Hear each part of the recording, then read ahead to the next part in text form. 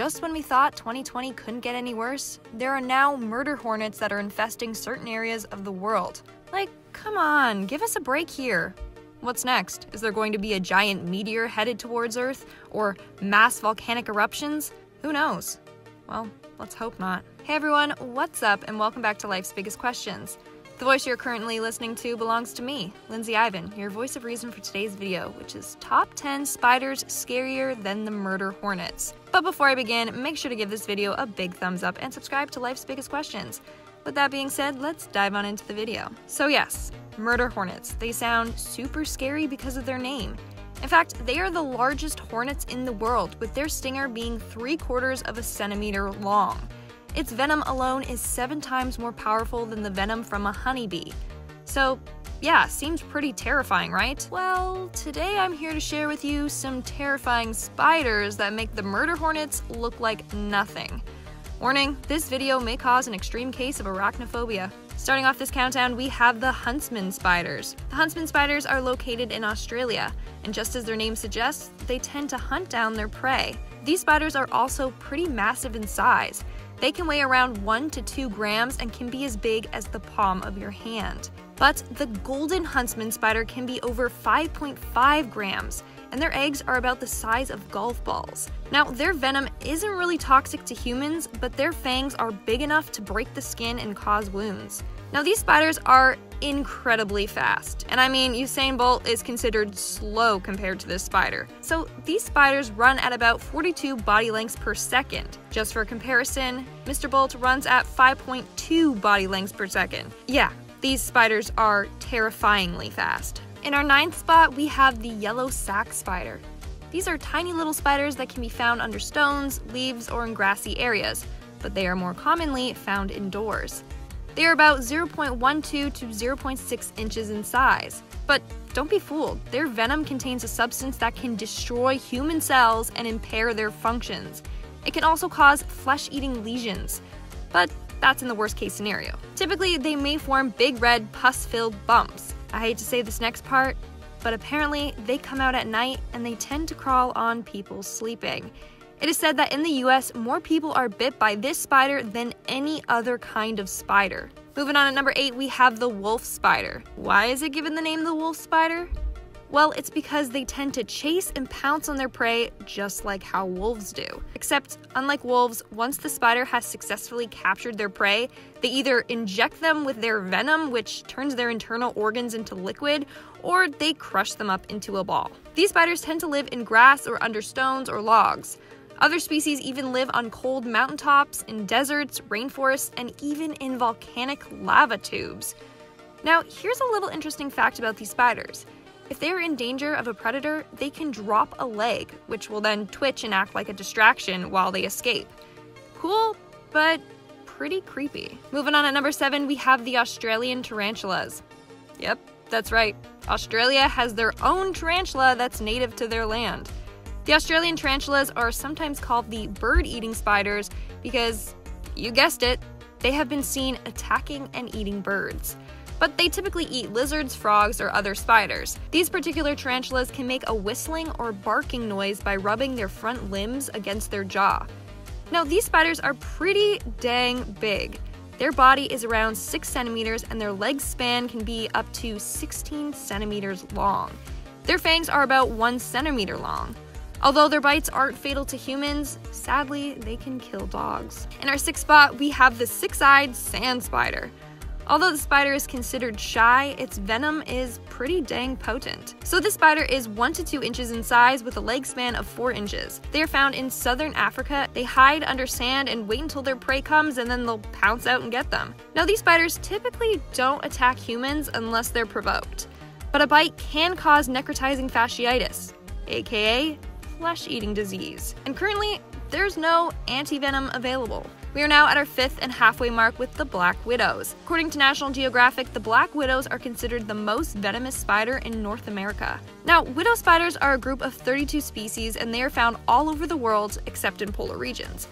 What makes them terrifying is that they are small and often go unnoticed, but they are highly poisonous. In fact, their venom is 15 more times stronger than a rattlesnake's. Like, imagine that. This spider is about the size of a paperclip, but it is way more venomous than a rattlesnake that can be about 2 meters in size. Black widows are identified by their hourglass shaped mark on their body. Now, if you are bit by a black widow, then you will experience pain and swelling around the bitten area. In more extreme cases, you can develop latrodectism. This can cause muscle spasms, high blood pressure, nausea, vomiting, severe sweating, and weakness. Now, their venom isn't typically deadly to humans, but many house cats have died from black widow bites. So you may be safe, but poor little Mr. Whiskers isn't. Moving on to number four, we have the Australian redback spider. Now, this spider is a close relative to the black widow spider of the US. The female redback spider's bodies are about the size of a large pea. But don't be fooled by their size, their bites are dangerous.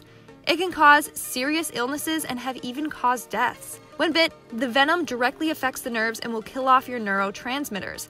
Thankfully, an anti-venom is available, but I still don't recommend getting anywhere close to this spider. This spider is a beast. In fact, there's a video out there of this spider killing and eating a freaking snake. Coming in at number three, we have the Sydney funnel web spider. The Sydney funnel web spider is said to be the deadliest spider in Australia. The spiders can be found in New South Wales in both forest and urban areas. In fact, they are said to find their way into people's backyards and fall into their swimming pools. Like, just imagine going for a nice, relaxing swim and seeing this guy floating along beside you. No thanks. Now, this particular spider is around 1.5 to 3.5 centimeters in size. Their fangs are larger than Australian brown snakes. In fact, their fangs are so strong that they can pierce through toenails or fingernails. Their venom is so powerful that it can attack the human nervous system and can mess with our vital organs. Venom from the male spider can kill. This is especially terrifying since the males often make their way into homes. In fact, before the antivenom was created, 13 deaths were reported by this spider in 1981. In our second spot, we have the recluse spiders. These spiders are also known as the violin spiders, fiddlers, or fiddlebacks because they have a dark violin shaped mark on their heads. These spiders are pretty small in size but are highly venomous. More venomous than widow spiders. In fact, its venom contains a tissue destroying enzyme it can create big open sores in your skin, or it can cause certain tissues to develop gangrene. What's spooky is that they like to make their homes in shoes, clothing, or beds. So maybe shake out everything just in case the spider is lurking there. Now, I thought I was safe from the spider in Canada, but turns out they can be found in Canada as well as the US. And in our number one spot, we have the Brazilian wandering spider. The Brazilian wandering spider, sometimes called the banana spider, is considered the most venomous spider in the world. It's referred to as the banana spider because sometimes it's found in banana shipments. These spiders are pretty dang big. They are 5 centimeters long and their leg spans can be as long as 15 centimeters. Its venom can be very hazardous to young children. In one case, a single spider managed to kill two children. These spiders are considered to be very aggressive and tend to get into our homes. In fact, its venom is so strong that a super small dose of 0.006 milligrams of venom can kill mice. And that's all for today's video. Now, I don't want to make spiders out to be some big, dangerous creature. In reality, most of these spiders listed won't cause any harm if you just leave them be. Once you invade their home or provoke them, that's when they can become deadly. So just respect nature and you'll be fine. Now, with that being said, let's move on to our comment shoutout portion. I'll be shouting out comments from my last video, What if Kim Jong Un caught the coronavirus? What's up commented, Wait, is Lindsay Ivan from Most Amazing Top 10 on Life's Biggest Questions? No, no, no, it's not me. Uh, we just uh, sound the same and have the same name. Macaroonies commented, What if Siren Head fought the Rake?